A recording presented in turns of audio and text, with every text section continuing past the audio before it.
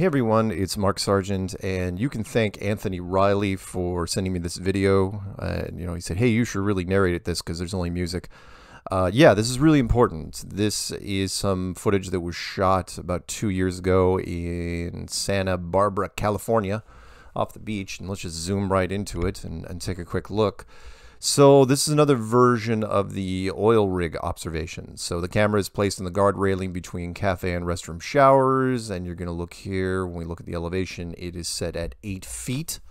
So Google Earth reads, reads this as 8 feet off of the water, which is a little higher than the one foot uh, camera stuff that we did earlier. And then gonna, we're going to take a draw a line to the first platform which is called platform C, which is directly out in front of it, and then another one a little bit off to the right, which is platform habitat. And when we pull back and look at the distances of these two, we will notice the uh, the curve cal calculator, just to pull that up real fast.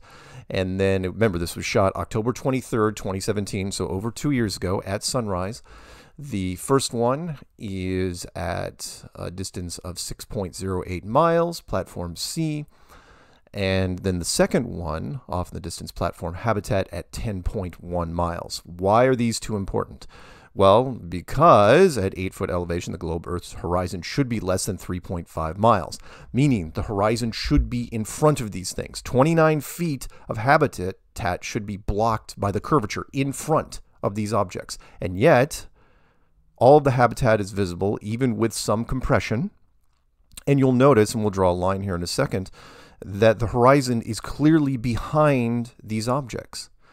And what makes this footage and all footage like it so, so important is that these are static objects, meaning these are not boats. These are always in one place. They're not moving or floating anywhere.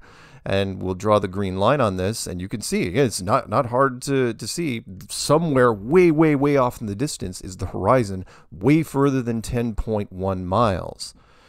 And that should not be. There, there's no curvature. I mean and that only happens on a flat world you will not see this on a on a curved thing because eventually these objects should be over the side of the hill they should be behind the curve and we just don't see that. These two oil platforms, again, one at 6 and one at 10, are right in front. So tell me optically how that happens. Tell me what atmospheric condition can put the horizon behind these objects. You want to say it's a mirage? Okay, well, then if you do that, you can never say that a boat is being chopped in half by the horizon because you say, well, no, that's real. A boat being chopped in half by the horizon line, you know, with heavy compression and refraction. Oh, no, that's real. But this right here, sunrise, couldn't be clearer conditions. Not a cloud in the sky, shooting off at, at oil platforms at six miles and 10 miles, respectively. You can't tell me that this is a mirage. No, no way. And even if you do say it's a mirage, tell me how a mirage puts the horizon behind the objects. That's the big key here.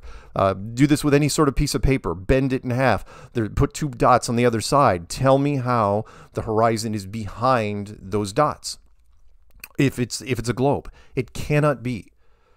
So again, you know, share this with your friends, show people, look, this is this is one of the globe killers, but it's going to take people a little while to understand it, which is what you're looking at here is objects that are in front of the horizon, which is clearly a long way behind it. But it can't these objects can't be if it's a globe earth.